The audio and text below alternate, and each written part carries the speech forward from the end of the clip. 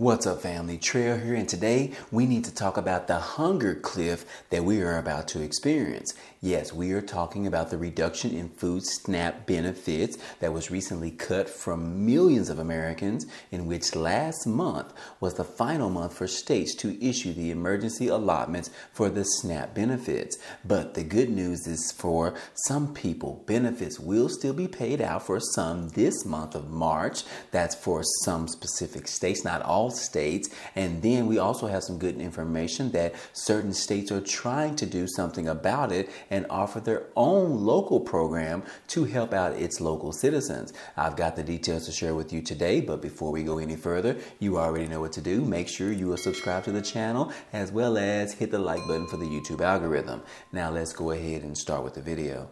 Let's start this video off with giving you the remaining states that still need to pay their benefits this month of March. Remember, the USDA has made it very clear that no state can issue emergency allotments after the end of February, which was yesterday, guys. Happy March the 1st. But yes, no one can give out benefits unless they are already distributing their benefits one month behind. But anyways, so far, here are the states for the March benefits. Alabama, March the 1st. California, March the 25th. Hawaii, March the 13th. Kansas, March the 22nd through the 31st. Massachusetts, March the 2nd. Minnesota, March the 14th through the 31st. New Hampshire, March the 17th. Nevada, March the 14th. North Carolina, February the 22nd through March the 3rd. Ohio, February the 27th. However, it has been delayed, so it's going to be coming sometime this month. I'll tell you about it in just a moment. Pennsylvania, February the 15th through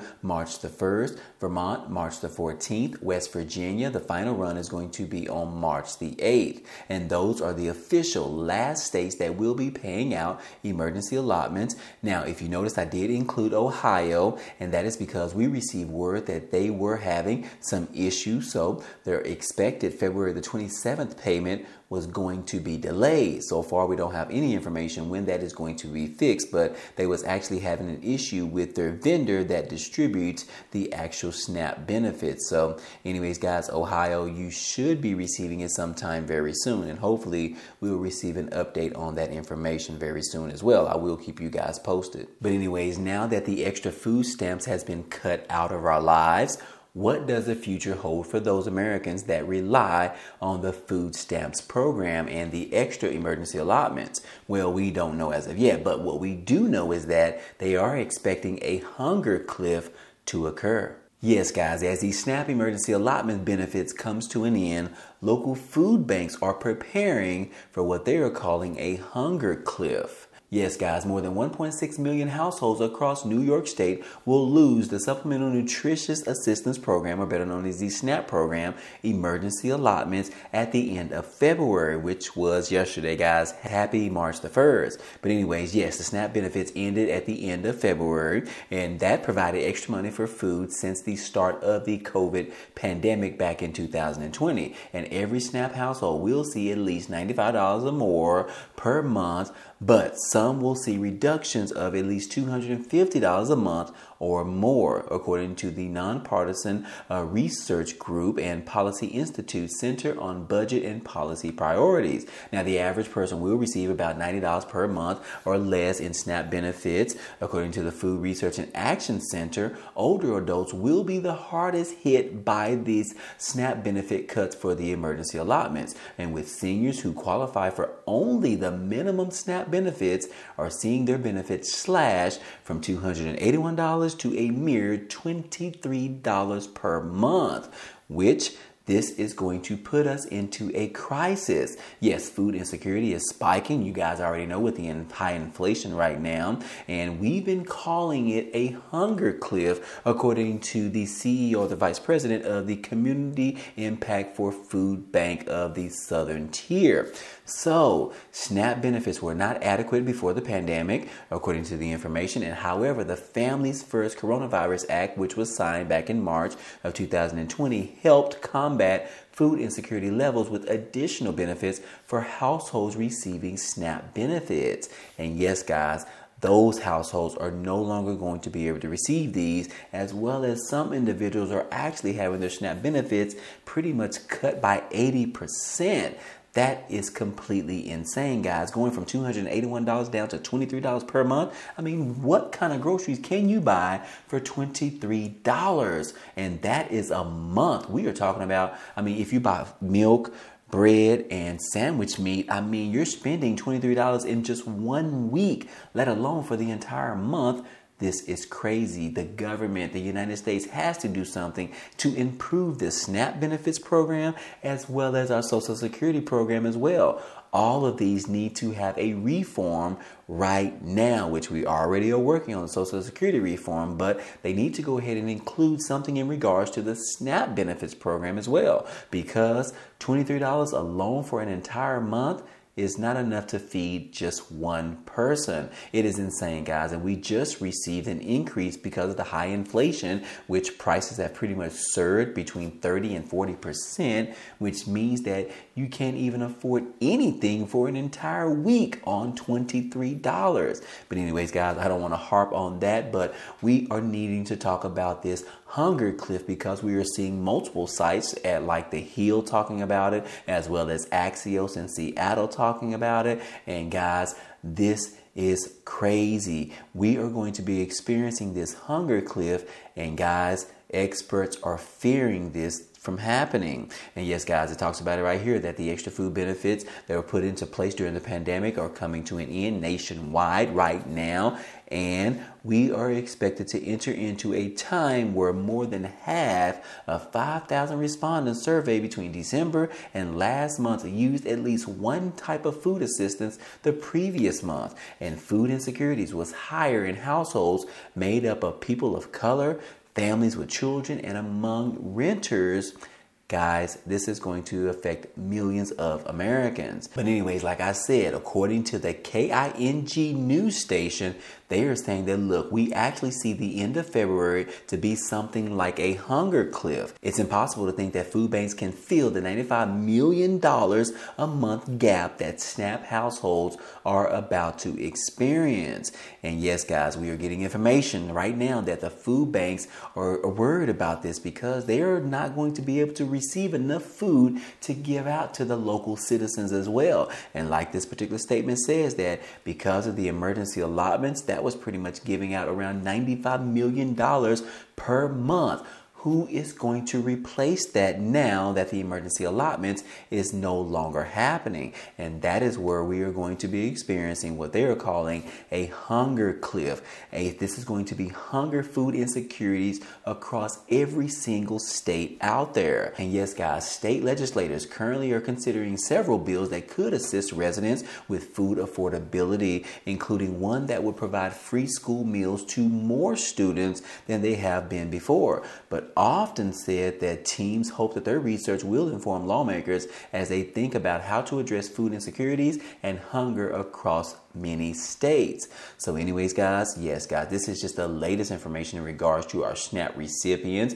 or our EBT recipients and what they are going to be experiencing now that this particular additional $95 per month is actually gone away. Even though some states are still going to be receiving those benefits this month of March, uh, pretty much, guys, the plan is over. The emergency allotments is over. The additional $95 is over. And now we are facing a huge hunger crisis in this country, which means that people are going to be going without food on their table because food banks are not going to be able to get enough food to supply to the many people, the millions of people that are needing this food every single month. But, anyways, guys, the good news is that I have for you today is that states are now striving to try to help SNAP recipients cope with the lower benefits. Yes, guys, it says that the white words on a red background are plain. Important notice SNAP emergency allotments are ending after February. And yes, guys, because this is ending, people are scared, they're anxious.